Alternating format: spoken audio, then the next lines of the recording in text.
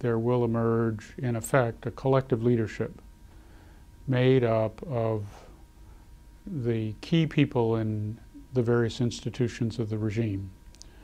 Um, the Kim family complex, to start with, the military, which is probably the most important institution, uh, the party, the government administration, intelligence agencies, security agencies, all of these have a stake in what's going to happen. And the, their key people will try to work together uh, in the name of Kim Jong il's son, Kim Jong un, but really they will be running the show.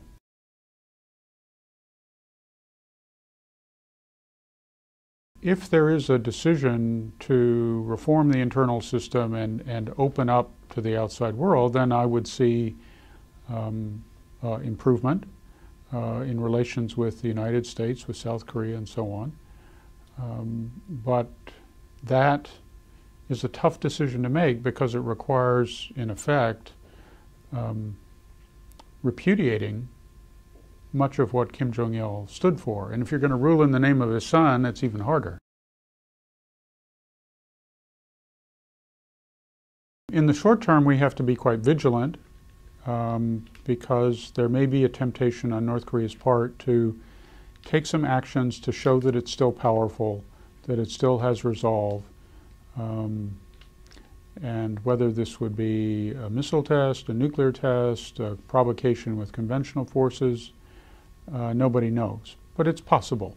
Uh, there's a certain logic to doing it. And so we and our South Korean allies have to be on guard. Um, while we need to be ready, we shouldn't be tempted to overreact. Um, we shouldn't be tempted to uh, create fear in North Korea during what is already a fearful time. Um, if uh, the immediate transition occurs and there is a stable um, transition um, longer term, um, we may have to continue coping with a, uh, a nuclear North Korea that remains isolated uh, for some time to come.